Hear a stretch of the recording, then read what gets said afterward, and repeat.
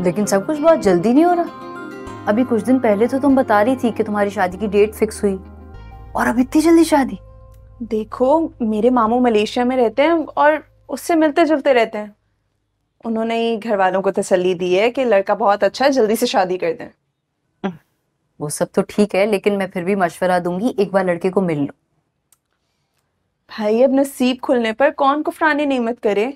लड़का अच्छा है अच्छी जॉब है वहाँ रहूँगी आराम से मैं। और ये जो जावेद साहब है ना इनकी भी चिक चिक से बचूँगी। मेरा तो मशवरा ये है कि तुम भी कोई अच्छा सा लड़का देके शादी कर लो।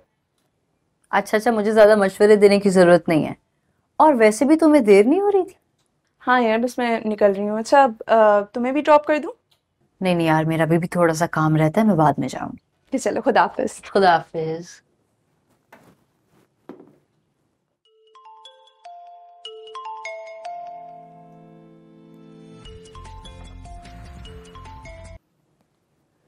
जी सलाम वालेकुम चाची। वो तुम्हें पता है अभी पुलिस आई थी।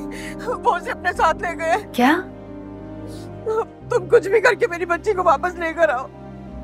मैं जानती हूँ मेरी बच्ची ने ऐसा कुछ नहीं किया बस तुम ही कुछ कर सकती हो खुदा के लिए। तुम्हारे चचा को पता चल गया तो वो तो मेरी जान ही निकाल देंगे। तो तुम खुदा के लिए कुछ करो बेटा तुम ही उसे ला सकती हो। आप बिल्कुल फ़िक्र मत करें। मैं मैं कुछ करती हूँ चाची। आप परेशान मत हो। अरे ऐसे कैसे परेशान ना हो? पुलिस का घर में आना कोई मामूली बात नहीं है बेटा। ढाई लाख की चोरी का इल्ज़ाम लगाए मेरी बच्ची पर। मैं जानती हूँ उसने ऐसा कुछ नहीं किया। तुम कुछ करो ना बेटा किसी भी तरह से उसे नहीं कराओ।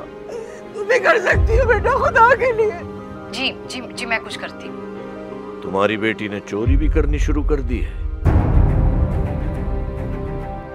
नहीं ऐसा कुछ नहीं है उसने कुछ नहीं किया। मैं सब कुछ अपने कानों से सुन चुका हूँ। तुम अपनी जबान से सच बताओगी या फिर मैं थाने जाकर पता करूँ?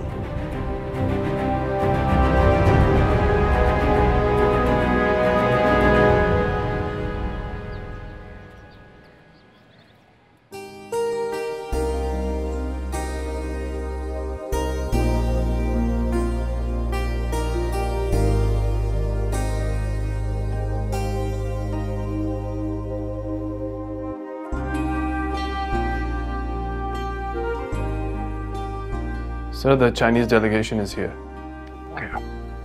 अशफाक मुझे मिस इरहम मुराद अली के वेयर बॉक्स मालूम करना है। कितनी जल्दी हो सकता है काम? लेकिन सर उन्होंने तो जॉब से मना कर दिया है। बल्कि आज सुबह ही मेरी उनसे बात हुई है। यही तो जानना चाहता हूँ मैं।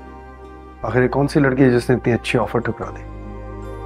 ओके सर आप चाहें तो मैं आपके साथ उनकी मीटिंग भी सेट कर सकता हूँ। वो बाद में बताऊँगा। Let's go